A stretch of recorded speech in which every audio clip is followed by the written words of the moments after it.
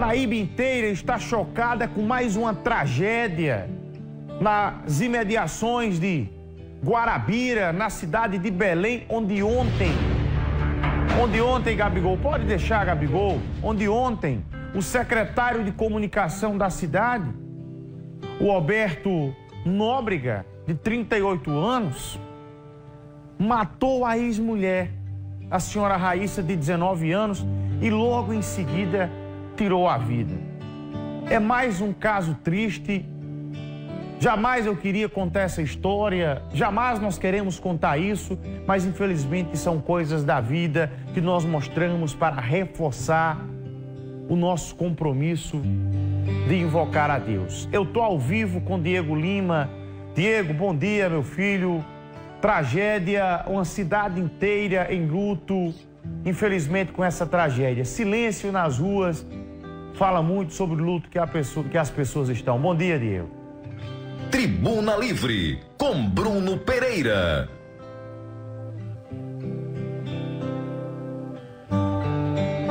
Bom dia a você, Bruno Pereira. Bom dia a todos os paraibanos que estão acompanhando o Tribuna Livre. Olha, eu estou aqui exatamente na rua Pedro Jacó, aqui na cidade de Belém, que fica a 130 quilômetros da capital João Pessoa, aqui no Agreste da Paraíba. Nós saímos logo cedinho.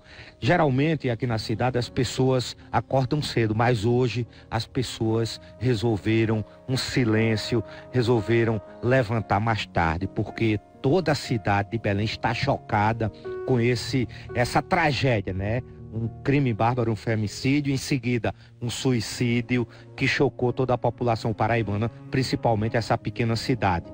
Um fato, Bruno, que chamou a atenção é que o rapaz, um jovem, foi vereador aqui de 38 anos, o Betinho Barros. Atualmente ele estava no cargo de secretário de comunicação e ouvidor do município. Ele era casado com Catiele, a Raíssa Catiele, de apenas 19 anos. Já tinha uma filhinha com ela. Eles estavam em processo de separação. E ontem, no surto psicótico, o Betinho Betinho Barros veio até aqui, essa casa aqui, olha. Aqui é um prédio, eles estavam no apartamento, mostra aqui, número 67, aqui na rua Pedro Jacó. Quem mora aqui? Quem mora aqui é a mãe de Raíssa Catiele, a ex-sogra do Betinho Barros. Exatamente isso, eles estavam em processo de separação e ontem à noite, por volta das 6 horas da noite, Betinho veio aqui, entrou pegou um revólver, deu um tiro na cabeça de Raíssa Catiele, esse tiro mortal, e deu outro tiro em sua cabeça, também mortal. Um detalhe que chamou a atenção, Bruno, foi quando eu cheguei aqui, a primeira coisa que eu vi foi esse medicamento aqui de uso controlado para pessoas que estão em depressão, pessoas que estão em surto, remédio de ansiedade, alprazolam estava aqui. Eu não sei se foi o Betinho que tomou vários comprimidos, é, estava em surto, mas estava aqui esse medicamento por coincidência. Inclusive me falaram que ele estava em tratamento psiquiátrico. Eles têm um, um filhinho, um bebezinho e essa tragédia aqui que chocou toda a população. A população está aqui, ó, mostra ali todo mundo assustado, um silêncio total nas ruas aqui, a rua Pedro Jacó, aqui em Belém. É, é um silêncio total, as pessoas é, preferem não comentar porque está todo mundo chocado. É, encontrei um amigo aqui mais cedo, olha a marca aqui, onde isolou o corpo ontem à noite. O corpo foi levado para o IML aqui da cidade de Guarabira, que fica a 20 quilômetros aqui de Belém. É, não se tem ainda previsão de liberação dos corpos. O homicídio, aliás, o feminicídio, esse suicídio ocorreu por volta das 6 horas da noite. Os corpos foram levados para Guarabira por volta das 9, 9 e meia. E aí não se tem informações ainda do horário que será liberado o corpo. Eu estou tentando contar também com o delegado doutor Luciano Soares, que é o superintendente da quarta regional aqui de Polícia Civil, aqui da cidade de Guarabira, que cuida dessa região. Eu conversei ontem à noite por telefone com o vereador Everton Gama, que disse que, que o o Betinho Barros já tinha tido o primeiro divórcio, foi casado, se divorciou e recentemente é, casou com a Raíssa Catielli, tiveram um filhinho, mas eles estavam nesse processo de separação. Inclusive, ele é filho da, de uma ex-vice-prefeita, é, a, a Betânia, que foi vice-prefeita aqui da cidade de Belém na gestão anterior de Edgar Gama, ou seja, uma cidade completamente de luto, porque o Betinho é de uma família tradicional aqui da cidade, de uma família de políticos. O próprio foi vereador aqui na cidade de Belém, enquanto sua mãe era vice-prefeita em no período de 2016 até 2020. Portanto, aí um crime, um, não deixa de ser um crime, né? Apesar de um suicídio, crime, porque houve o crime, primeiro houve o feminicídio, para que em seguida houvesse o suicídio. As pessoas ainda estão sem entender como é que Betinho cometeu tamanha insanidade. Uma insanidade que tirou a vida de uma jovem de apenas 19 anos. E uma insanidade que fez com que ele tirasse sua própria vida. O jovem com apenas 38 anos, todo um futuro pela frente, é, a, a, a, sua namorada, a sua esposa, na verdade, né, que estava em processo de separação de apenas 19 anos. Olha o silêncio nas ruas, as pessoas ainda procurando entender por que Betinho cometeu tamanha insanidade. Um silêncio total aqui nas, na tranquila cidade de Belém, que está chocada com isso. Os vizinhos também buscando entender. Aqui morava a sua sogra, eles já estavam em processo de separação. Um fato muito triste, né? Um, uma tristeza, uma coisa que chocou toda a cidade, né, irmã? É, moço. A senhora conhecia a jovem? Não, não conhecia nenhum dos dois, não. Só a mãe? Nem ninguém, eu não conhecia. Não conhecia ninguém mais, mora nessa rua? Não, quem mora é minha neta ali de cima. Tá todo mundo assustado na cidade. É verdade. Uma tragédia, né? É verdade. Só Deus mais quem é. Tá Só Deus. Muitas coisas. Eu estava assistindo a embate, que eu gosto de assistir. Toda noite eu assisto embate. Aí foi na hora que falou na Paraíba, aí falou aqui em Belém, eu escutei. Muito triste, portanto, aí as pessoas de ter uma senhora ali, uma tristeza muito grande, né? Uma jovem, um jovem também, né?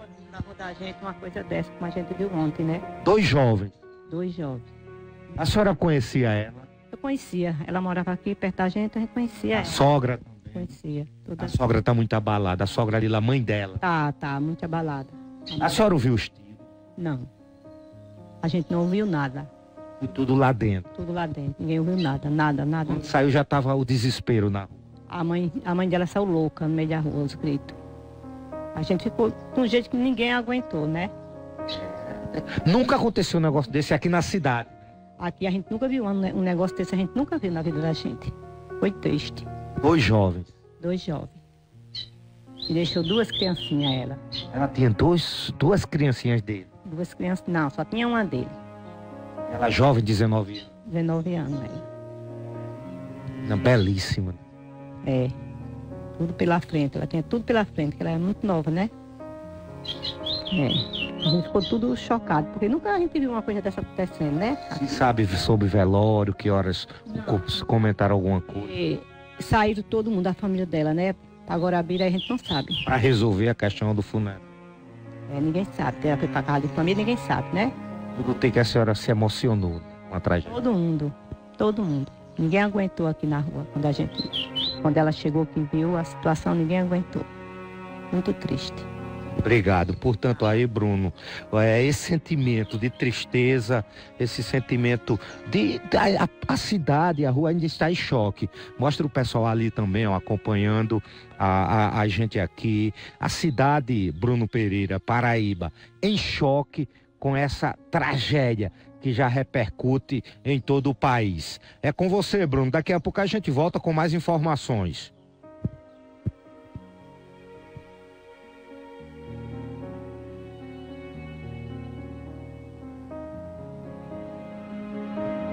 Você ouviu?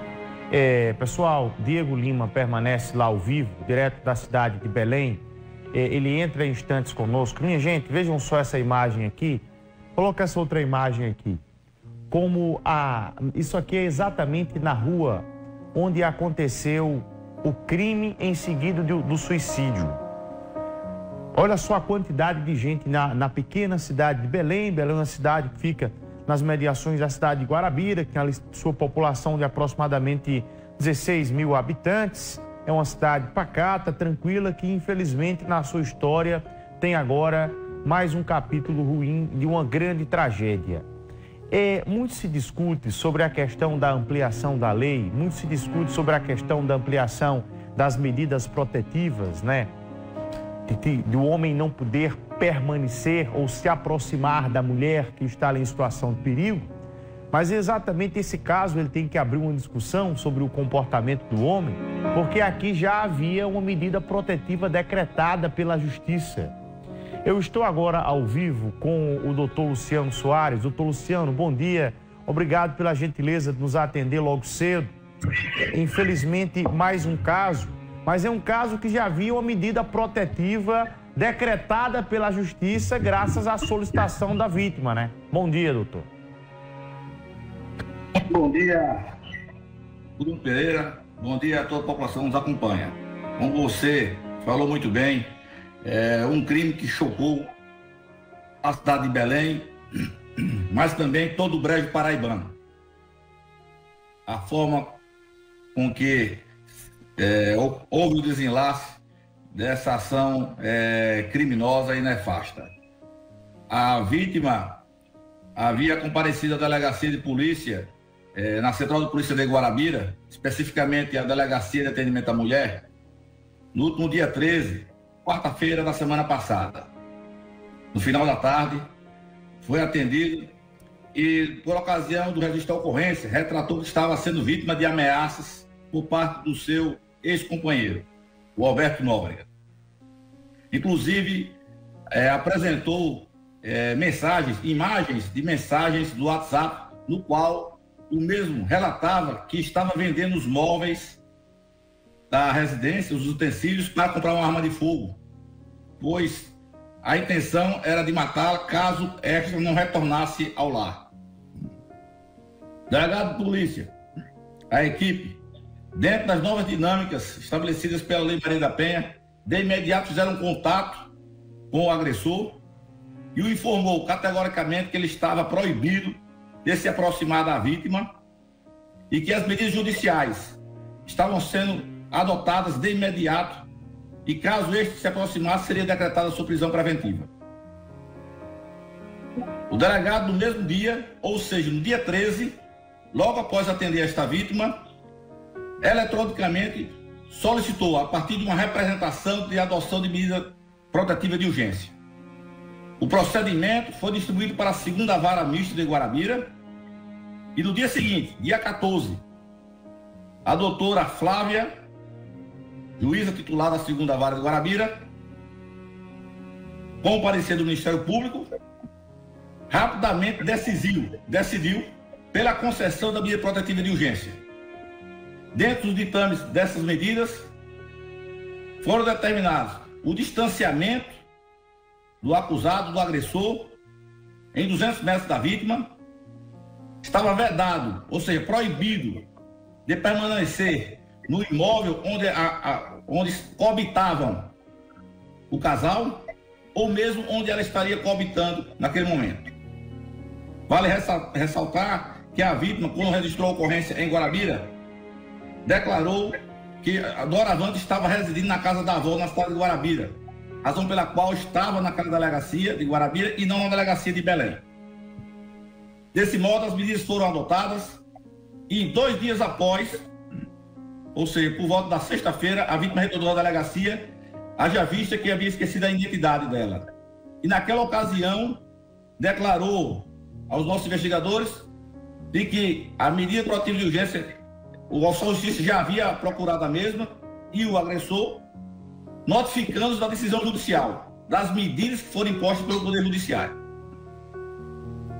Ocorre, fomos pegos de surpresa, Bruno Pereira, é, pelo fato da vítima ter sido é, gravemente atingida por disparo de arma de fogo no interior da residência da sua mãe, na cidade de Belém. Ou seja, a vítima havia se deslocado da cidade de Guarabira, onde então estava sob o manto de uma determinação judicial, e fora para a cidade onde estava o agressor. Queremos saber agora as circunstâncias da chegada desse agressor e sobre a existência ou não de familiares na residência do imóvel, no local onde estava a vítima, é, o que não foi possível em razão da comoção dos familiares que ali se encontravam. O fato é que, infelizmente, o agressor, logo após atingir a vítima, Raíssa Kathleen, por diversos disparos de arma de fogo, acabou tirando a própria vida. É, doutor Luciano, eu gostaria de perguntar ao senhor, pela sua expertise policial, pelo seu, seu tempo de carreira. Muitas vezes as pessoas, tem muita gente que fala, não, só a medida protetiva resolve, ou então somente a prisão resolve. Tá claro que nós precisamos avançar mais sobre esse tema, que só a medida protetiva ou até mesmo somente a prisão não resolve, porque o camarada um dia vai sair. O senhor tem percebido isso dentro da atividade policial que o senhor exerce diariamente? Sim. É, é necessário que se faça um reestudo sobre a amplitude do que chega a ser o crime de ameaça. A tipicidade dessa conduta é, ela apresenta também as suas nuances. A legislação estabelece uma pena baixa para o crime de ameaça. Porém, é um crime que é muito sutil. Porque cidadão, cidadão X diz ao outro assim, vou lhe matar, possa ser que apenas pela emoção naquele momento ele tenha dito que ia matar aquela pessoa. Né? Uma pessoa que até então, sem, sem motivos aparentes, não demonstrasse violência. E de repente, daquele momento, disse que ia matar uma pessoa. Estou falando um caso hipotético, não de violência doméstica essa pessoa poderia representar pelo crime de ameaça, que iria resultar no TCO de ameaça. Né? Mas nós vamos verificar agora na questão da Lei Maria da Penha. Nós temos verificado, e com frequência, que muitas dessas ameaças, quando não é, participaram de uma tentativa de homicídio, ocorre a consumação. Né? Então, é, é, é por demais complexo, é, há um trabalho intenso da rede, hoje da qual estamos participando aqui na região do Brejo, da rede de proteção à mulher, de treinamento dos policiais, né, de capacitação. Existe na cidade de Guarabira a Patrulha Maria da Penha, que atua diligentemente. Né? É, então, como eu disse, essa investigação está na fase inicial.